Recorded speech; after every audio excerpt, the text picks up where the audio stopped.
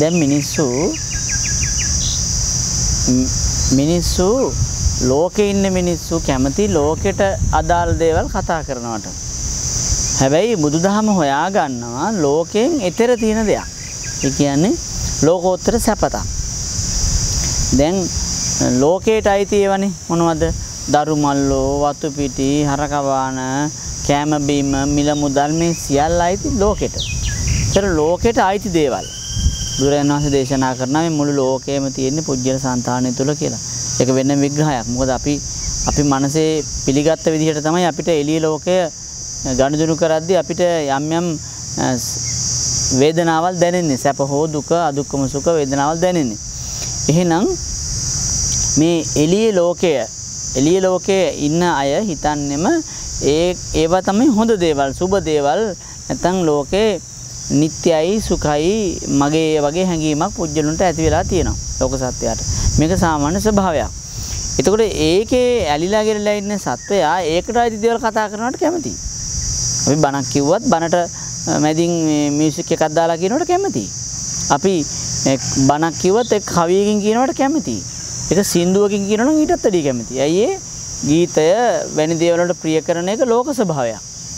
එහෙනම් ලෝකෙට අයිති දෙයක්. මිනිස්සු බණකට ගියත් කියනවා ආඳුරු මේ කියලා දෙන්න මේ හොඳට සල්ලි ඉතුරු කරන විදිය ගැන. පෞල් ජීවිතයක් ගත කරන විදිය ගැන. හොඳට ළමයි හදා ගන්න විදිය ගැන. බලන් ගියා මේක ඇතුළෙම කරක් ගහන්න ඕන මාතෘකා ටිකක් ගැන තමයි මිනිස්සුන්ගේ අවධානය තියෙන්නේ. හැබැයි බුදුදහම බිහි වෙන්නේ නැතිරින් නෙවෙයි. ලෞතර බුදුරු පහළ වෙන්නේ ඊට එහා ගියපු නැත්නම් මේ ඔය කියන සියලු දේවල් වලින් එහා ගියපු දෙයක් උගන්වන්න. මේ එහෙව් සාස්ෘණ වංශගේ ශාසනය තුල ප්‍රධාන අරමුණ කරගත්තාම ලෝකයේ ඇතුලේ තියෙන ප්‍රශ්න ටික විසඳ ගන්න අපිට කවදාවත් ලෝකෙන් එතර වෙන්න හම්බෙන්නේ නැහැ. එහෙනම් ලෝකෙන් එතර වෙන කාරණේ ඉගෙන ගත්ත මිනිහට දැන් මෙහෙම හිතන්නකෝ. මේ සංසාර පුරා අපි දුර ගමනක් එනවා. මේකේ මොහොතක් ගානේ අනිත්‍ය ලක්ෂණයක් තියෙනවා. අපි සත්වයා පුජ්‍යලයා කියලා හිතුවට එතන එහෙම කෙනෙක් නෙවෙයි මේ මේ එකතුවක් තමයි තියෙන්නේ එහෙම නැත්නම් ස්කන්ධවල එකතුවක් තමයි තියෙන්නේ කියලා තේරුම් ගත්ත මිනිහට බොරු කියන්න හිතෙන්නේ නැහැ. බොරු කියලා අපත් කරගන්න දෙයක් නැහැ. කේලම් කියන්න හිතෙන්නේ නැහැ. ලොකුවට කුණුකම් කර කර ඉතුරු කරන්න හම්බ කරන්න හිතෙන්නේත් නැහැ. එයා දන්නවා මේ පරිභෝජනය සඳහා තමයි අපි හරි හම්බ කරන්න කියලා. ඒතර ආන් ඒ වගේ දැන් මිනිස්සු ගාව තියෙන වැරදි අපි ඔය කියන්නේ අරක්කු බොනවා හොරකම් කරනවා කපටිකම් කරනවා නෝන රවට්ටනවා මහත්තයා රවට්ටනවා වගේ වැරදි. මෙන්න මේ වගේ වැරදි වලින් පුජ්‍යලයක් ගලව ගන්න ඒකට උපදෙස් දෙනවට වැඩිය මේ ලෝකේ තියෙන යථාර්ථය කියලා දුන්නු දවසට පුජ්‍යලෝ නිකම් මේකෙන් ගැලවෙනවා. මේක බුදුදහම බොහොම ගැඹුරින් සහ සරලව බොහෝ තැන්වල විස්තර කරනවා. පින්වත්නි ලෝකෙට අදාළ දේවල් හිතන්න ලේසි. අපේ හිතත් එක්ක පුරුදු වෙලා තියෙන කල්ප ගානක්. මොකද අපේ ගමන අනමුතක් ගෝයම් භික්කවේ සංසාර පුබ්බා කෝටින පඤ්ඤායිති කියන විදිහට මේ අනන්ත අප්‍රමාණ සංසාරේ ඉඳලා එන්නේ.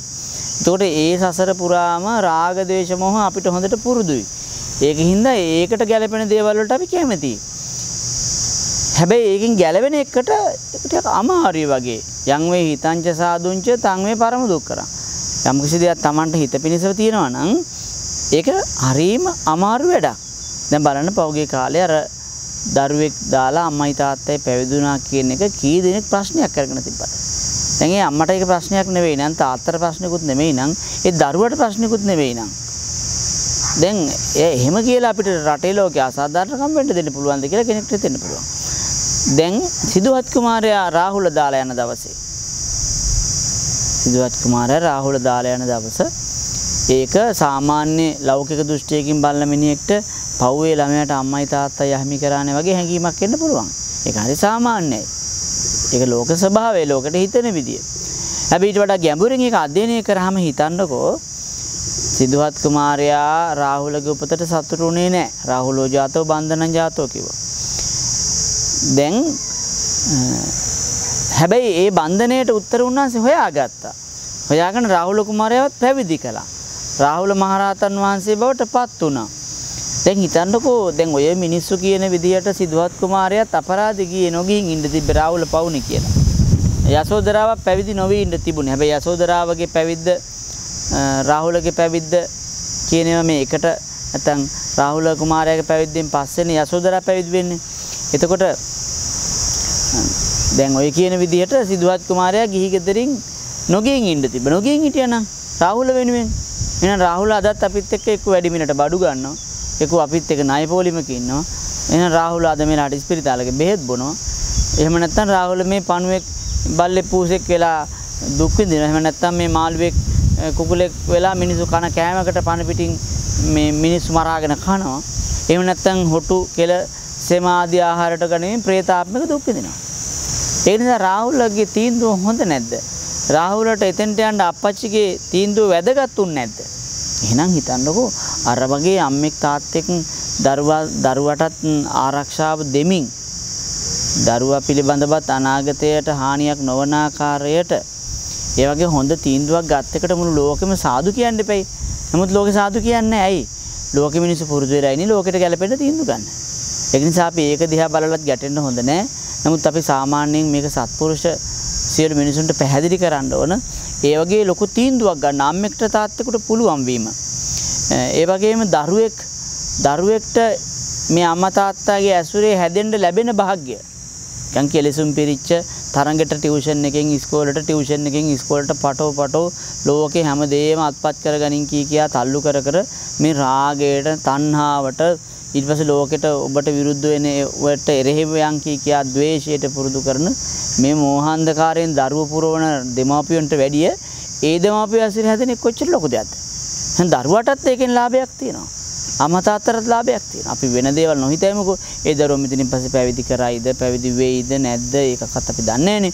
මොකද ඒකකටත් වැඩිය අපිට වැදගත් දැනට අපි දන්න තොරතුරු අනුවත් දැනටත් අම්මා තාත්තට ලොකු ලාභයක් වගේම දරුවටත් ලොකු ලාභයක් ලැබිලා තියෙනවා.